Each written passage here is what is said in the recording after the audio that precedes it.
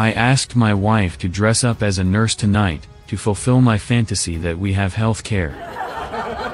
Does your country have good healthcare system? Comment below. Like the video and subscribe, or I'll be the doctor on your next hospital visit. See you in the next one.